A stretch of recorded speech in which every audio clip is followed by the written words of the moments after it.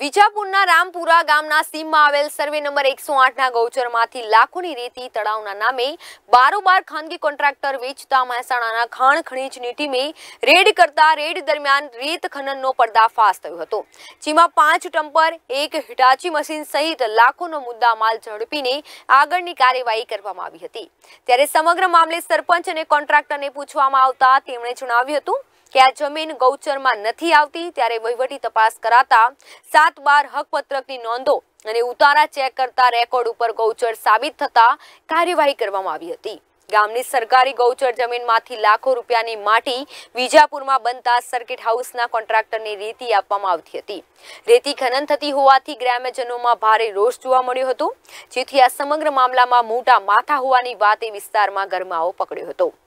નોંધનીય છે કે હજુ પણ જો ઊંડાણપૂર્વક તપાસ કરવામાં આવી, તો ઘણું બધું રહસ્ય બહાર આવી શકે તેમ છે. Bureau report Bharatsinh Parmar VR live, Vijapur.